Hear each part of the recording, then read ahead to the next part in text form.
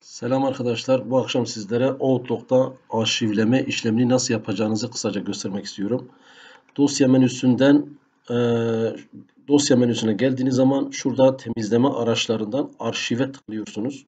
Outlook 2016'da arşiv direkt şurada şuradaki seçeneklerden biri gibi direkt burada gözükmektedir. Arşive tıkladığınız zaman öncelikle burada iki çeşit arşivleme özelliği var. Ben bunları hemen kısaca size söylemek istiyorum, anlatmak istiyorum. Üstteki seçenek işaretliyse tüm klasörleri otomatik arşiv, arşiv ayarlarına göre arşivle derseniz bunun sakıncalı olduğunu söylemek istiyorum arkadaşlar. Neden diyeceksiniz? Ee, şimdi şöyle diyeyim. Ee, otomatik olarak arşivlendiği zaman tek bir dosya üzerinden arşiv yapıldığı için dosya kapasitesi şişer arkadaşlar. 20 GB, 30 GB kapasitelere ulaşır. Dolayısıyla bu dosyanın bu arşiv dosyanızın bozulması demek bütün verilerinizin geçmişe dönük bütün postalarınıza erişememeniz demektir.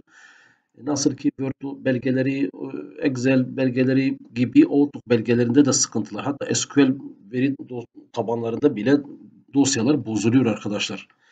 E, eğer otomatik arşivlerseniz tüm arşiv tek bir dosya üzerinden arşivlendiği için kapasitesi de şişecektir. Dolayısıyla bozulmaya da müsait hale gelir ve bu bozulduğu zaman da tüm verilerinizi, tüm maillerinizi kaybetme ile karşı karşıya kalırsınız. Bunun yerine benim size tavsiyem şu ikinci seçeneği işaretlemeniz.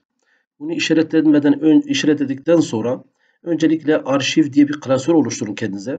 Burada arkadaşlar burada sakın hiçbir şey silmeyin diye bir e, sürücüme isim vermişim. Biliyorsunuz uzaktan eğitim var. Çocuklar da bu bilgisayarı kullanarak ders mesele de bazen katılıyorlar. Dolayısıyla uyarı amaçlı yazdım. Şimdi ben buradan öncelikle maillerimi arşivlemeden önce benim size tavsiyem D sürücüsünde e, mail arşivim diye bir klasör oluşturun.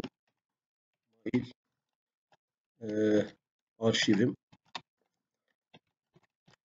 Böyle bir klasörünüzü oluşturduktan sonra Outlook'a gelip örneğin gelen kutusunu işaretliyorsunuz. Bu gelen kutusunu işaretlediğiniz zaman eğer kural oluşturarak alttaki şeyleriniz, klasörünüz varsa onları da kapsıyor.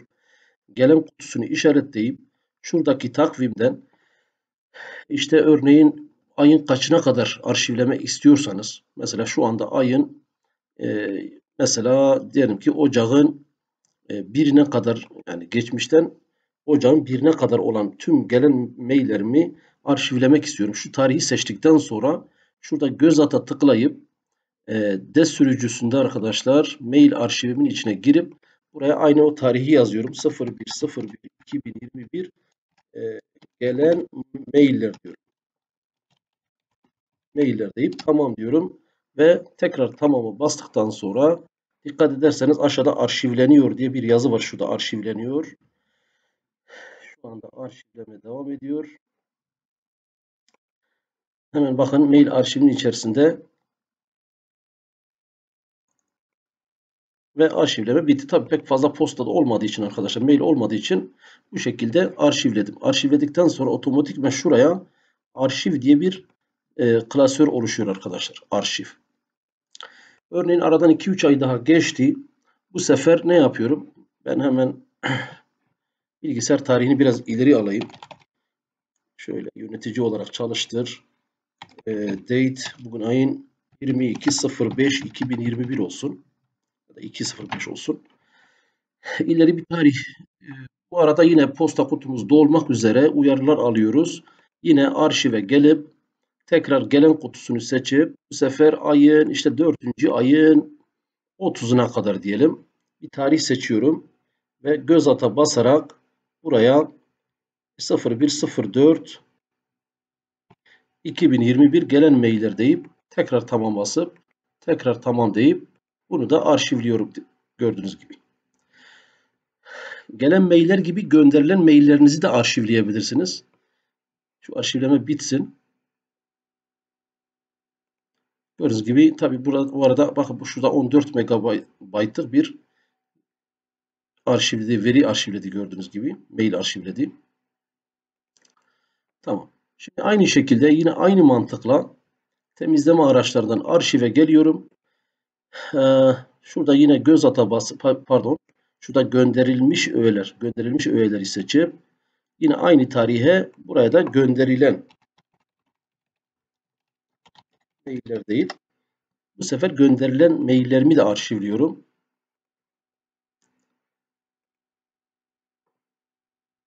Bakın 24 30 37 megabaytı bir de gönderilen mailleri arşivledi gördüğünüz gibi. Evet bu şekilde bakın şurada arşivlerim burada durmakta. Siz bu arşivleri kapat diyerek kapatabilirsiniz arkadaşlar. Otomatik arşivleyince buraya gel düşüyorlar. Siz bunları kapatabilirsiniz. Tekrar arşivlerinizi ekle mesela geçmişte örneğin sizin geçmişe yönelik maillere ihtiyacınız olmuyor. Normal sadece gelen kutusunda dosyalarınızı ararsınız, kullanırsınız vesaire. Eğer geçmişe ait bir maile ihtiyacınız ihtiyaç duyarsanız dosyadan aç ve dışa aktar. Outlook veri dosyası diyeceksiniz. Yine şuradan e, mail arşivin içerisinde arkadaşlar işte şu tarihe kadar olanları seçersiniz. Bakın hemen aşağıya arşiv diye eklendi. İsterseniz diğer arşivlerinizi de ekleyebilirsiniz. Şunu ekledim. Onu eklemiştim sanırım. Şu şekilde. Bakın bir arşiv daha eklendi. Yani tüm arşivlediğiniz dosyalarınızı e, bu şekilde bu niye düzgün gelmedi ya? Şunu kapatayım.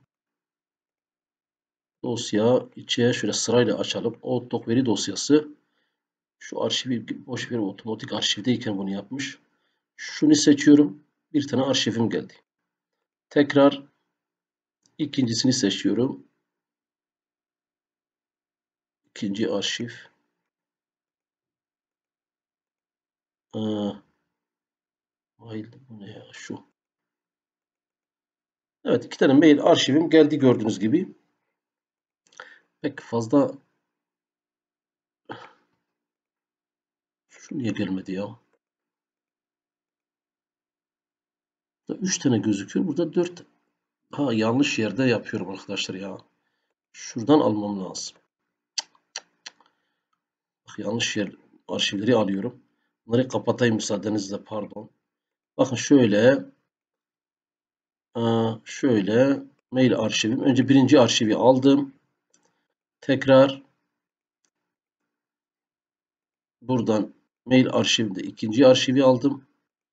Yine şuradan üçüncü arşivimi de aldım arkadaşlar. Gördüğünüz gibi üç tane arşiv arşivim var. Şimdi mesela geçmişe dönük herhangi bir mail örneğin e, mesela Ocak raporu diyelim. Şurada geçerli klasörü seç, bu seçiliyse sadece gelen kutusunda arama yapar. Ocak raporu diyelim. Ee, ben burada ne yapacağım? Eğer arşivlerde de arama yapmak istiyorsam tüm posta kutularını işaretlemem gerekiyor. Tüm posta kutularını işaretlerseniz hem şurada şu an aktif posta kutusunda arama yapar hem de şu arşivlerin içinde de arama yapar arkadaşlar. Ben aradığım e, maili, geçmişe dönük aradığım maili de bu şekilde bulmuş olurum. Yani biz burada ne anlattık? Dosya arşivlemeyi anlattık. Arşivledikleriniz zaten arşivleyince otomatikman buraya ekleniyorlar. Siz isterseniz buradan kapatabilirsiniz. Outlook'unuzun daha yani performansını etkileyebilir örneğin. Dolayısıyla tekrardan buradan arşivlerinizi ekleyebilirsiniz arkadaşlar. Tekrar şuraya ihtiyaç duyduğunuzda arşivlerinizi tekrar buraya eklersiniz. Ee, bunu söyledim. Ee, dolayısıyla arkadaşlar Size tavsiyem belli e, aralıklarla e, kendiniz bu şekilde manuel olarak arşivleyin. Otomatik arşivi kullanmayınız diye diyorum. Ben en azından benim tavsiyem bu. E, manuel arşivlemeyi kendiniz yaparak postalarınızı, mail hesabınızı çok daha aktif, güzel kullanabilirsiniz. Yani öbür gün yaptığınız bir işle ilgili geriye dönük bir maile ihtiyaç duyarsanız eğer otomatik arşivdeyse veya arşiv bozulursa sıkıntı yaşarsınız. Bu şekilde manuel arşivlemeyi anlatmaya çalıştım.